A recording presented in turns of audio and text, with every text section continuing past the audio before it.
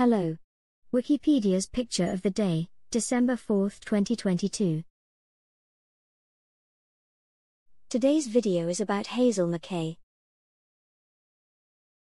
Hazel MacKaye, 1880 to 1944, was an American theater professional and suffragist.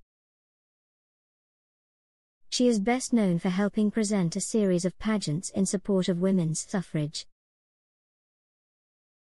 The organizers of the woman suffrage procession, planned for March 3, 1913, just prior to President Woodrow Wilson's inauguration, in Washington, D.C., asked MacKaye to create a pageant for the event.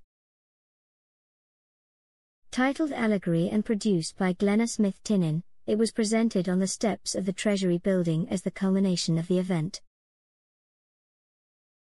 The pageant was praised as one of the most impressively beautiful spectacles ever staged in this country in the New York Times.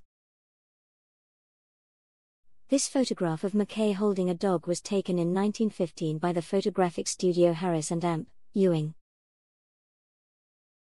Thanks for watching.